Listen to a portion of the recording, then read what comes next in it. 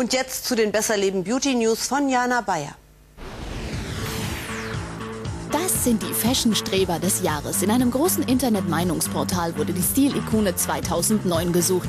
Auf Siegertreppchen haben es geschafft Topmodel und bald Vierfachmama Heidi Klum, US-First Lady Michelle Obama und Sängerin Gwen Stefani. Nicht immer perfekt, aber trotzdem unter den Top 10 der Stilikon ist Sängerin Beth Ditto, die gerade erst eine eigene Kollektion für Übergrößen rausgebracht hat. Glückwunsch! Mit diesem Doodle Bra Set kann Frau sich künstlerisch jetzt so richtig austoben. Der weiße BH kann mit den mitgelieferten Stoffmalstiften und verschiedenen Schablonen nach Herzenslust bemalt werden. Leider nicht im Set für 7 Euro enthalten, das nötige Gestaltungstalent. Aber zum Glück können die Farben einfach wieder abgewaschen werden.